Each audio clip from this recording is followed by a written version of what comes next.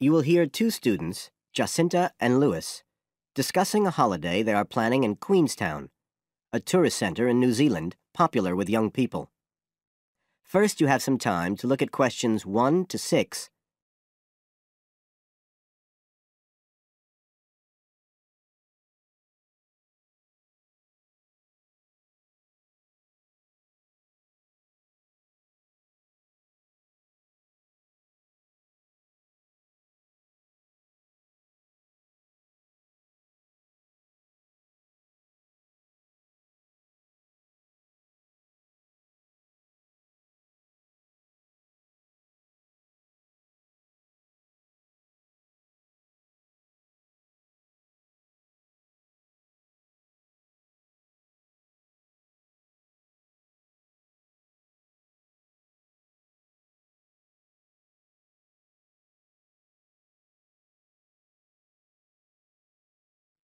Now we shall begin. You should answer the questions as you listen, because you will not hear the recording a second time. Listen carefully and answer questions 1 to 6.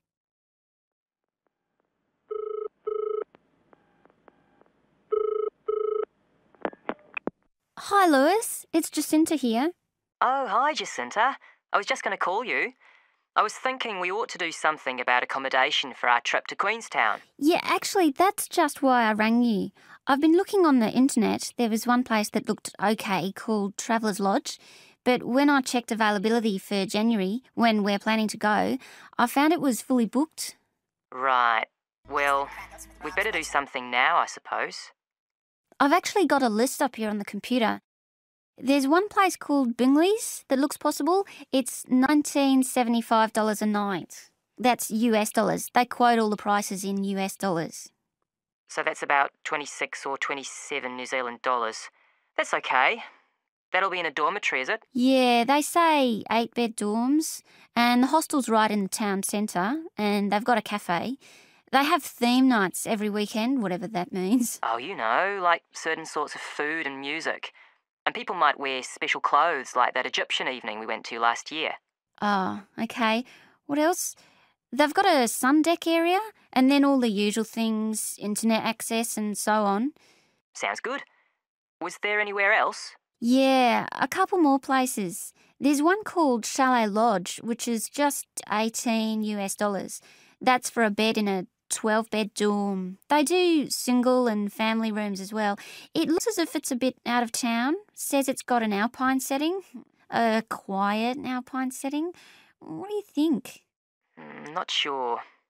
Oh, but actually, it's not far out at all. It says 10 minutes walk from town, so. Oh, and it says it's children friendly. Hmm, I'm not so sure about that. What about the third place? Uh, that's called Globetrotters. Let's see. They do private rooms or five bed dorms for 1850. It's in the centre, just by the lake, and that includes breakfast. Didn't the other two? I don't think so. They didn't mention it, so probably not. Oh, and it says something about a free skydive. Wow. Don't know if I'm all that keen on jumping out of aeroplanes. Oh, actually, what it says is you can win a chance to do a skydive. They give one away every day to one of the guests.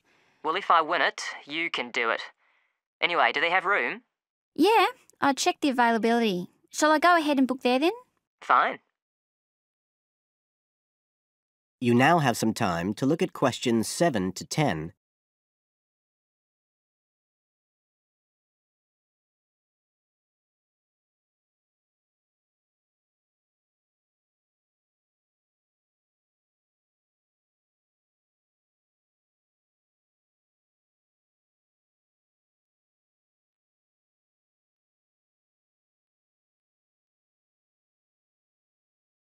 Now listen and answer questions 7 to 10. I was looking at what there is to do too. There are lots of sites offering deals for adventure sports. I suppose we have to do a bungee jump. Why? Well, it's Queenstown where they more or less started it as a sport. You can. if you really want to jump off the side of a bridge with an elastic rope tied round your ankles. I'll watch. Okay, so what do you want to do?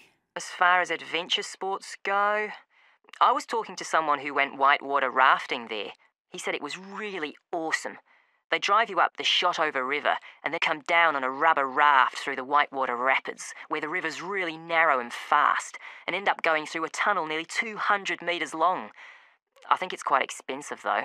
Oh, I'm on for that if you are. Cool. The other thing you can do is the jet boat ride. That sounded just a lot of noise though. It's basically just whizzing round on the river on a very fast boat, isn't it? My friend did that as well. He said it was a bit touristy, but worth it. I'll give it a go. You go right up the river canyon. He said the drivers were really skillful, but I don't mind going on my own. But there's lots to do as well as the whole commercial adventure bit. We ought to do some trekking. The scenery around there's amazing. I don't want to miss that. The place to start's Glenorchy, apparently, about 40 minutes drive. That's where lots of the wilderness trails begin. Okay, I'll pack my walking boots. I'd better start getting training. I haven't done anything except sit at my desk for months.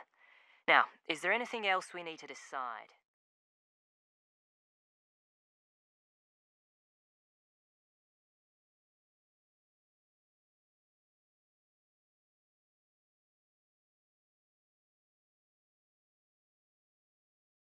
That is the end of part one. You now have one minute to check your answers to part one.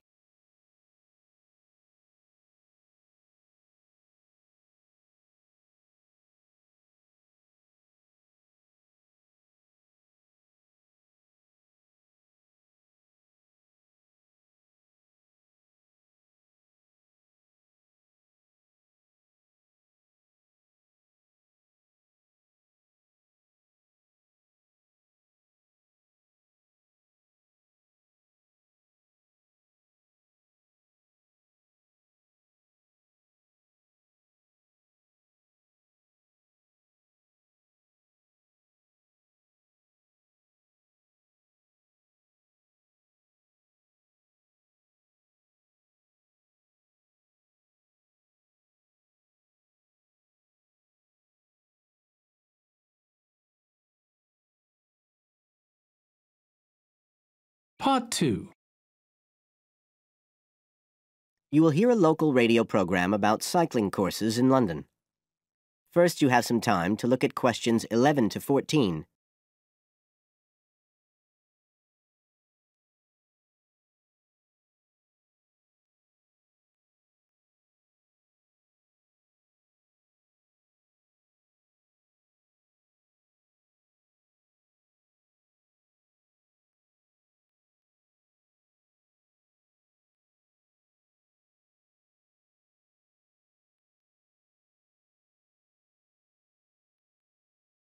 Now listen carefully and answer questions 11 to 14. There's been a great deal of interest lately in encouraging people to use bicycles instead of cars as a means of transport. But not everyone is confident about riding a bike at the best of times, let alone in the middle of a city like London. Jack Hayes is a professional trainer who works for a London based company, City Cyclist, which provides cycle training for the public. What exactly does City Cyclist do, Jack? Well, our basic purpose is to promote cycling as a sustainable form of transport.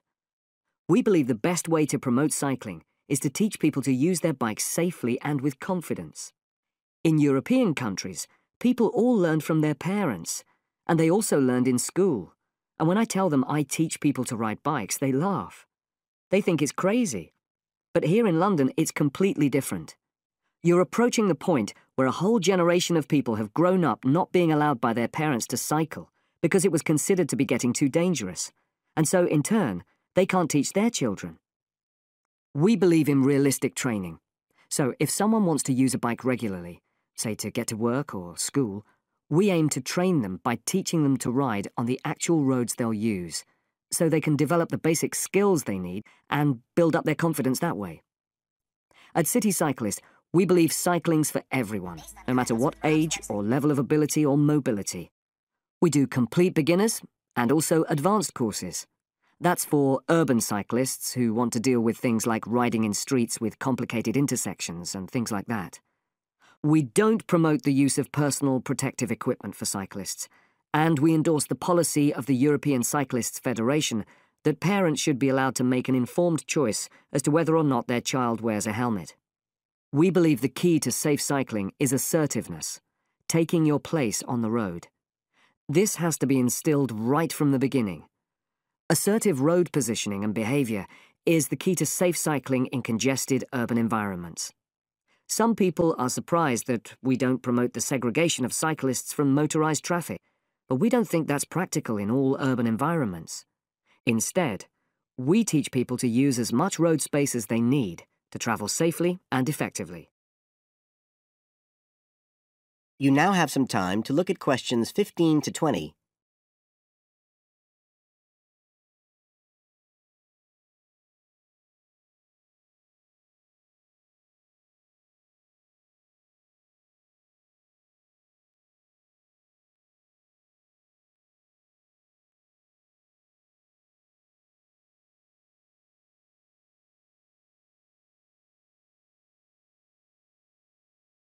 Now listen and answer questions 15 to 20. Now, as well as courses for individuals, City Cyclist provides a number of services for organisations. For example, we can deliver fun, safe cycle training activities at schools, arranging courses so that the disruption of curriculum time is kept to a minimum. As well as this, in order to promote safe cycling, we have provided training courses for employees and staff of local councils. And we are also increasingly looking at developing training courses in companies in order to help employers work towards green transport plans by helping to increase the number of staff cycling to work. Right, so that's a brief summary of what we do. If any listeners would like to find out more about the organisation, you can have a look at our website. That's City Cyclist. C I T I cyclist.co.uk. And in order to book lessons, you can either phone us on 020 7562 4028 or do it online. There's an application form on our website, and you can just download that and send it in. We charge £27.50 per hour for one to one lessons, plus £6 for each extra person. So you're looking at just £39.50 for a family of three, say. If you've never been on a bike in your life before, we reckon we can get you riding in one hour, and for most people, a course of road training usually takes three hours. But whether you're a parent or a child, an individual or an institution, we'll be happy to discuss your special needs and make a programme just for you.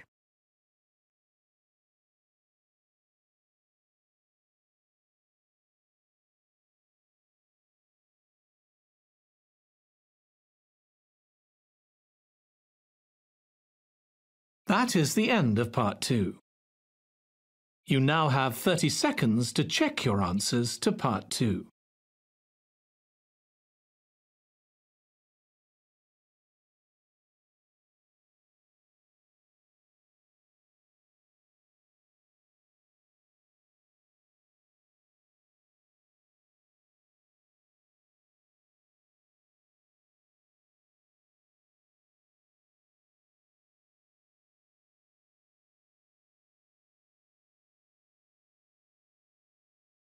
Part 3 You will hear a discussion between three people in a university tutorial. In the first part of the discussion, they're talking about city traffic and the motor car. First, look at questions 21 to 24.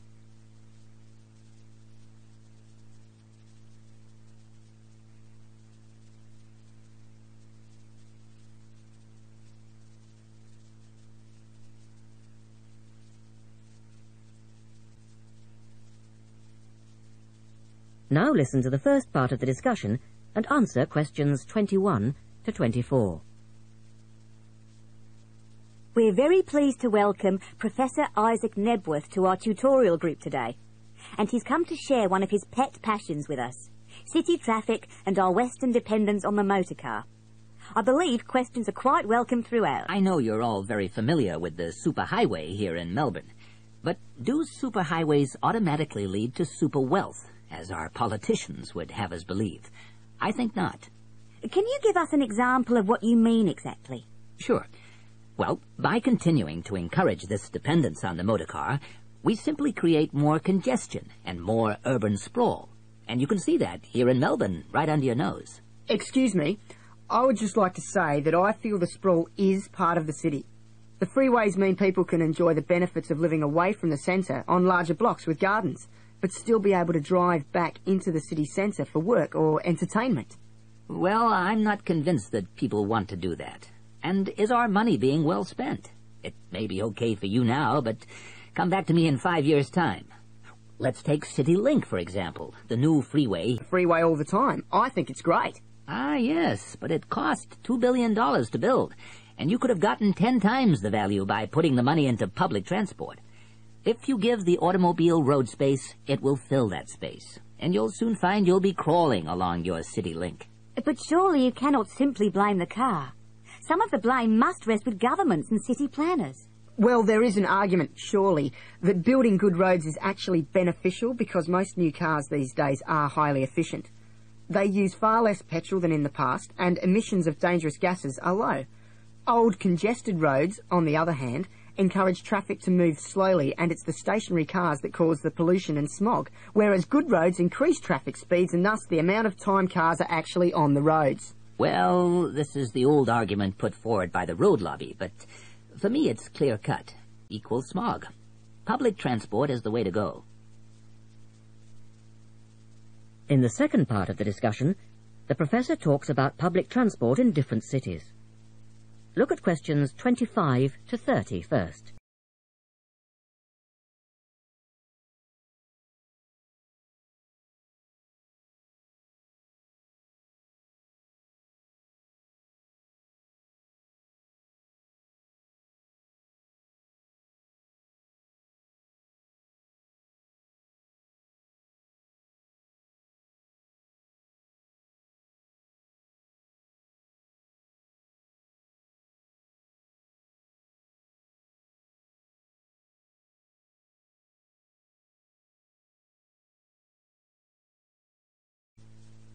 As you listen to the discussion, complete the questions about public transport.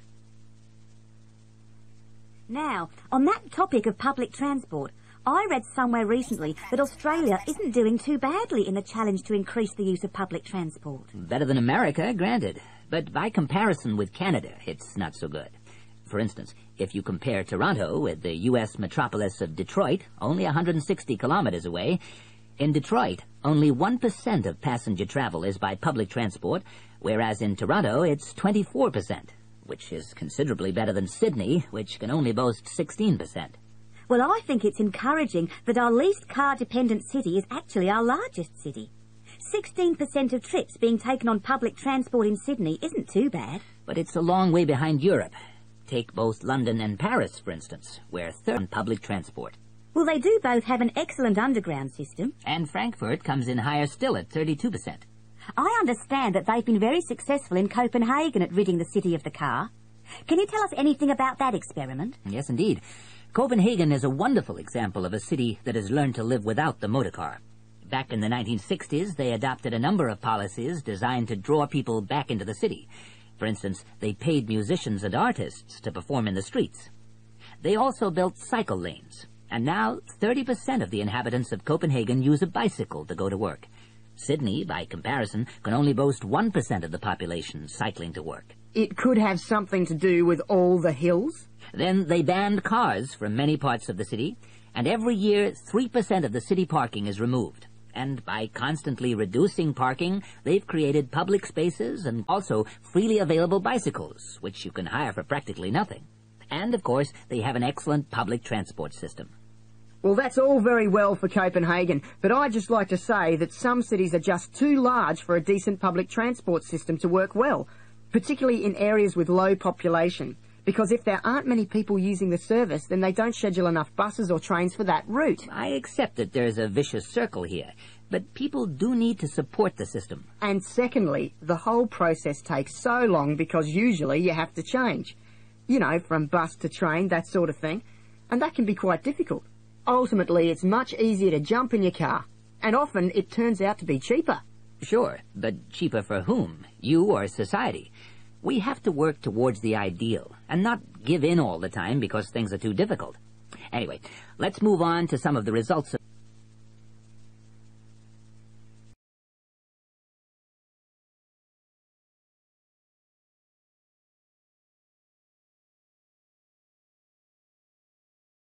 That is the end of part three.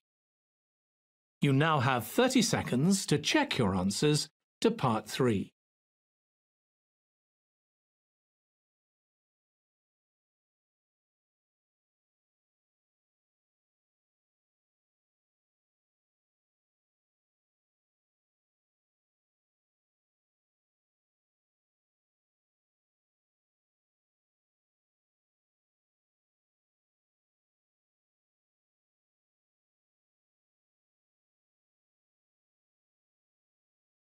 Part 4 A lecturer talking about food preservation. First, you have some time to look at questions 31 to 40.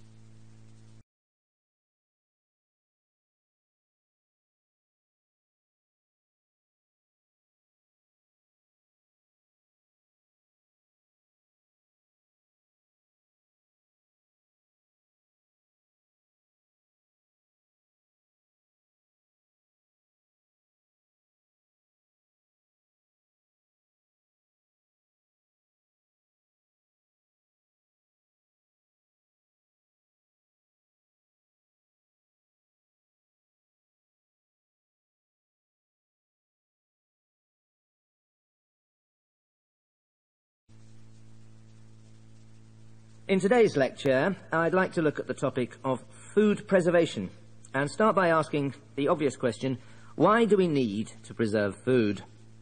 Well, apart from keeping it fresh for our daily needs, many foods, such as fruit and vegetables, are only available at certain times of the year. So, if we want to be able to eat these foods all year round, we need to preserve them. We also need to preserve food for export overseas to make sure that it doesn't perish in transit. And lastly, we need to be able to preserve food for when there are food shortages. There are a number of methods of preserving food which involve both high and low temperatures, chemicals, irradiation, and drying. Let's have a look at these in turn. In the 1870s, the French scientist Louis Pasteur showed that microorganisms in the of the food, a process now known as pasteurization, this involves heating milk to just 65 degrees Celsius for 30 minutes. A new method, the ultra-high temperature, or UHT process, involves heating milk to 150 degrees Celsius for three seconds. The advantage of treating milk in this way is that it lasts much longer, though I tend to feel, and I'm sure many of you would agree, that taste is somewhat sacrificed in the UHT process.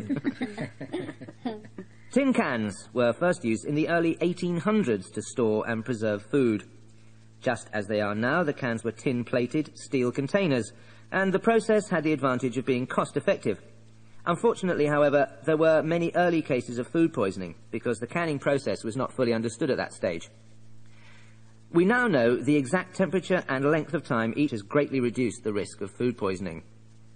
People living in cold climates often preserve food by burying it in the snow and the Romans knew all about the advantages of packing food in ice. But for most people, this was not an option until the invention of the refrigerator in 1834.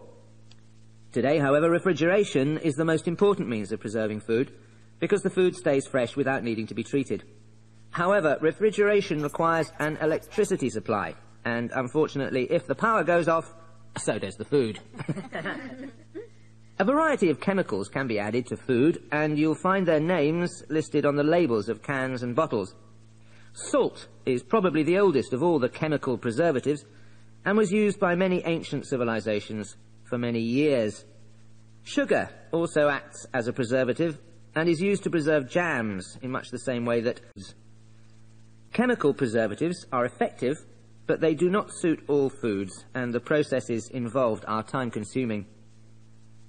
Another method of preserving food is by drying it. Most foods are 75% to 90% water, so if you remove the water, the microorganisms simply can't survive. When food is dried, it not only lasts a long time, but it also becomes much lighter, which is a big advantage as this makes it cheap to store. Though some people argue that valuable nutrients are lost in the process.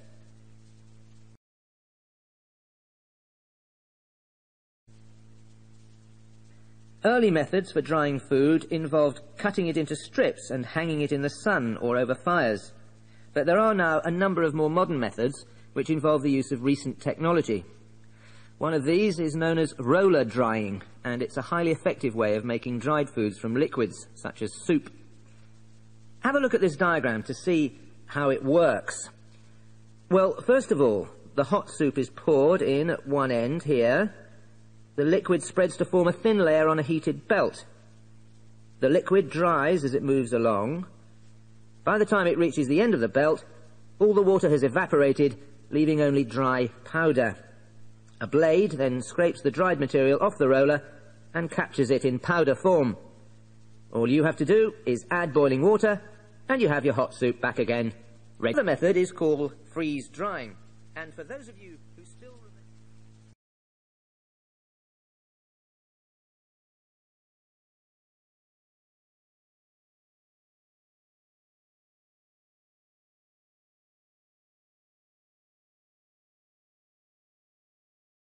That is the end of part four. You now have one minute to check your answers to part four. That is the end of the listening test. In the IELTS test, you would now have 10 minutes to transfer your answers to the answer sheet.